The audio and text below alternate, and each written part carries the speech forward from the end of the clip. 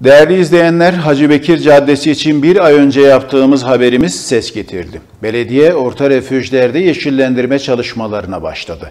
Cadde boyunca refüjlere yılın 12 ayı mevsim şartlarına göre yeşil kalacak çam ağaçları bırakılmaya başlandı. Van'da prestijli cadde projesi kapsamında yenilenen Cumhuriyet Caddesi'nin devamı olan Hacı Bekir Caddesi için yaptığımız haber ses getirdi. Yapımı sırasında vatandaşın tepkisine neden olan ancak bittikten sonra Van'a büyükşehir kimliği kazandıran önemli projelerin başında gelen prestijli cadde çalışmaları devam ediyor.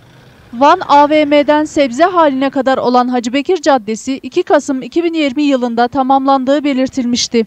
Cadde üzerinde bulunan yeşil alanlar çöpe dönmüş, görüntüsü Van'a yakışmayan cinstendi.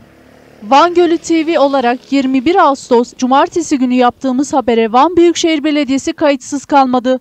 Belediye, orta refüjlerde yeşillendirme çalışmalarına başladı.